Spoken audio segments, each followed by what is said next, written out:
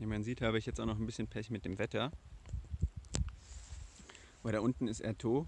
Es geht zwar jetzt relativ steil runter, ähm, aber ich denke, ich bin so in einer Stunde oder so da.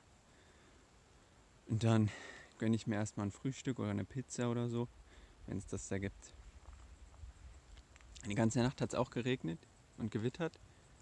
Und ich habe auch nicht so gut geschlafen. Deswegen mal gucken, ob ich dann heute noch weitergehe oder ob ich morgen irgendwie einen Ruhetag mache. Und naja, erstmal gönne ich mir eine kleine Pause im Warmen. So, es hat aufgehört zu regnen. Aber die Wettervorhersage für heute Abend ist auch nicht besser. Das heißt, es regnet wieder. Deswegen trockne ich schon mal meine Sachen. Hier kurz. Und ich habe mich jetzt beschlossen, hier im Tal weiterzugehen, anstatt wieder in die Berge zu gehen, weil da gibt es wieder ein paar knifflige Kletterstellen. Wenn es regnet, habe ich da nicht so Bock drauf. Und ich bin auch nicht mehr ganz so selbstbewusst wie am Anfang. Naja.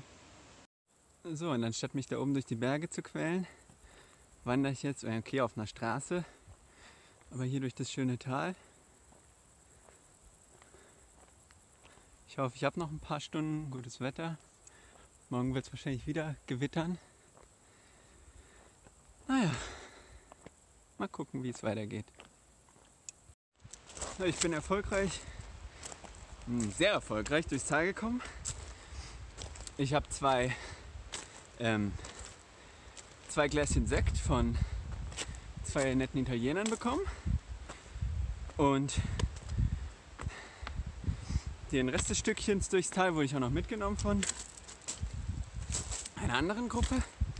Na, jetzt gehe ich den Berg hoch, versuche noch ins Bivacco zu kommen.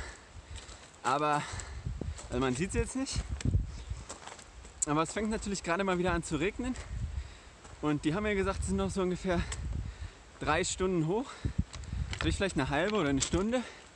Ja, jetzt muss ich noch schön zwei Stunden hier durch den Regen.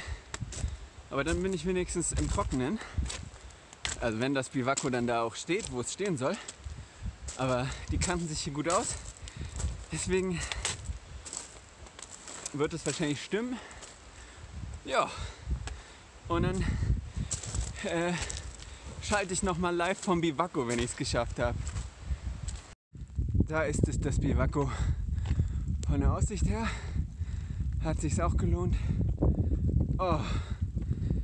Aber ich bin klatschnass und scheiße müde. Und ich mache mich jetzt da rein. Puh. So, ein wundervoller Morgen am Tag 4 meiner Wanderung. Da unten vor dem Zipfel müsste man eigentlich die rote Biwakschachtel sehen, in der ich geschlafen habe. Ähm, ja, ich muss jetzt noch so 300 Höhenmeter über den Pass. Und dann habe ich auch erstmal meine Höhe. So das Gröbste geschafft. Naja. Ich hoffe, der Steig hier ist nicht ähm, so anstrengend, aber es ist schönes Wetter. Ah, und ich bin ganz gut erholt. So, ich bin oben auf dem Pass. Jetzt noch einmal steil runter. Ich hoffe, dann war es das erstmal für heute mit steilen Bergpfaden. Und generell wird ab jetzt auch die Route insgesamt sehr viel leichter. Ja. Ich habe zwar kein Klettersteig-Set, aber die ganzen Klettersteige werde ich einfach auslassen und dann andere Routen gehen. Ich mache mich mal auf den Abstieg. So, von da oben komme ich, da oben ist der Pass.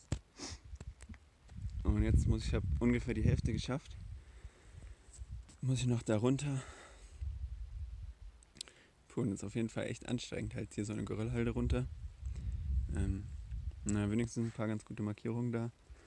Und zum Glück habe ich zwei Stöcker mit, die helfen echt ungemein. Also wirklich wunderschöne Hütte des Alpenvereins. Ich weiß nicht, ob sie vom Alpenverein ist. Jedenfalls wunderschönes Refugio hier in den schönen Bergen. Natürlich klasse mit Dieselreaktor, schön hier am Laufen. Das äh, macht wirklich das ähm, Ambiente perfekt. Also ich krieg mich echt nicht mehr ein. Das ist der Wahnsinn. Na gut. Bei mir geht es jetzt hier durch so schöne Waldwege ins Tal, wo ich ein bisschen Essen-Nachschub kaufe. Aber ich habe eigentlich auch noch genug. Weil ich ja durchs Tal getrennt bin, bin ich alles ein bisschen schneller ähm, gewesen. Naja, heute soll es glaube ich mal nicht regnen. Morgen soll es regnen, aber das ändert sich vielleicht noch. Hoffentlich ändert sich das noch.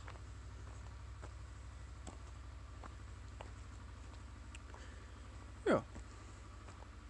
Dann geht's hoch in die sechsten Dolomiten zu den 13. Bin ich schon mal gespannt. Also morgen oder übermorgen mal gucken, wie schnell ich bin. Also jetzt hier auf diesem Faden bin ich halt sehr viel schneller unterwegs als auf diesen ähm, schwierigen Bergpfaden. Die habe ich echt unterschätzt, muss ich sagen.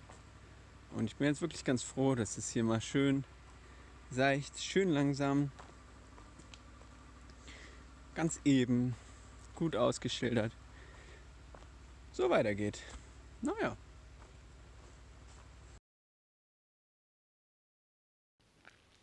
Das waren Tag 3 und 4 der Wanderung. Und abends habe ich dann im Wald gezeltet, ganz unspektakulär. Aber hier sind noch ein paar schöne Fotos.